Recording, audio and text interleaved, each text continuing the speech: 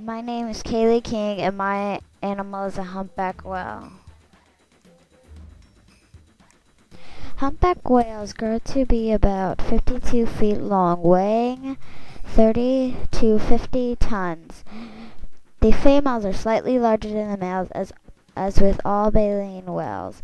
The four-chambered heart of the average humpback whale weighing about 430 pounds, about as much as three average human beings.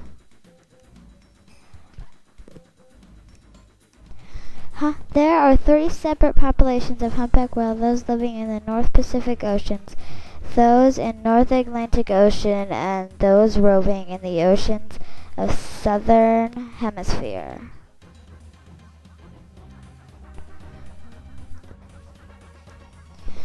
Humpback whales, like all baleen whales, are seasonal feeders and carnivores that filter feed tiny crustaceans called krill, mainly copepods, plankton, and small fish from the water.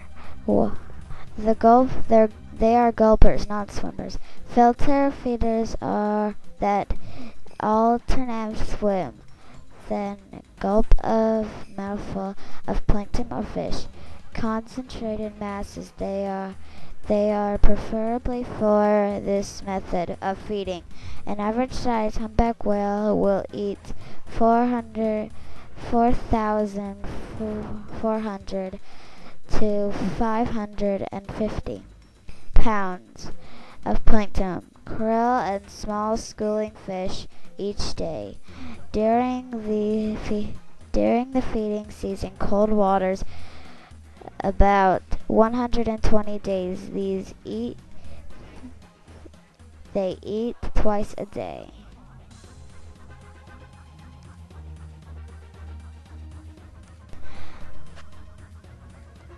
Humpback whales have a life expectancy of, four, of 45 to 50 years.